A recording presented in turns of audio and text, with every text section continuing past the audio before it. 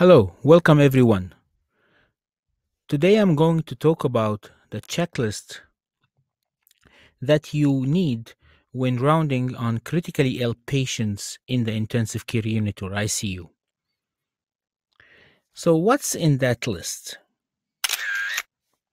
So, generally, you go system by system from head to toe CNS, central nervous system, CVS, cardiovascular system, respiratory, RESP, respiratory system, GI, and GU.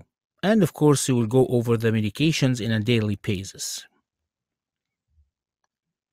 So let's start with the central nervous system.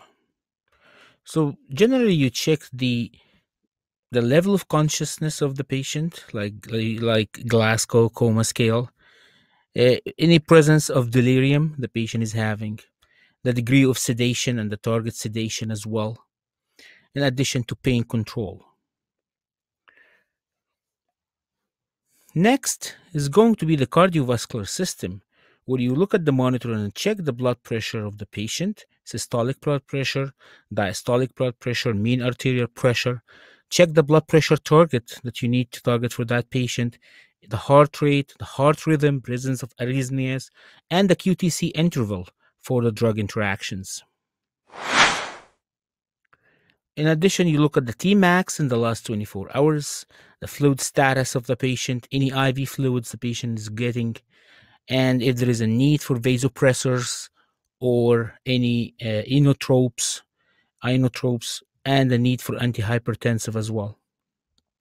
After you finish the cardiovascular system rounding, you go into respiratory system by looking at the respiratory rate, arterial blood gases, any acid base balance issues, respiratory secretions, and the mechanical ventilation parameters to see if the patient is being weaned, improving clinically, and so on.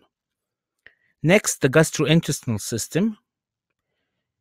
Definitely, you'll need to check the feeding status of the patient. Is being fed, tube feed tolerance, any nausea, vomiting, need for stress ulcer prophylaxis.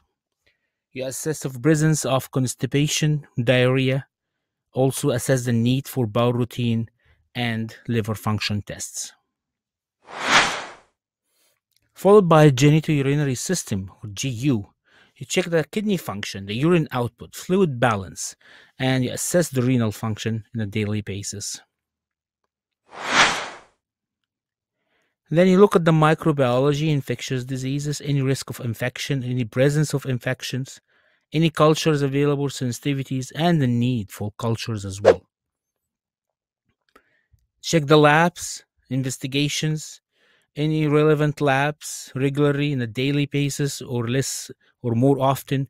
Check the trend of the lab values and other diagnostic imagings and other investigations. And then the medications.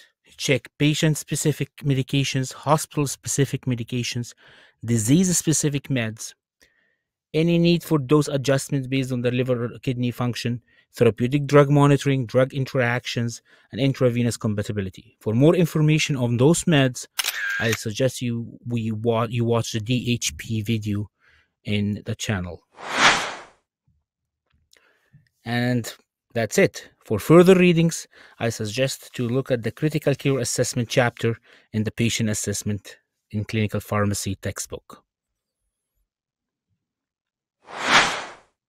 Thank you. That marks the end of the clinical pharmacy practice education video.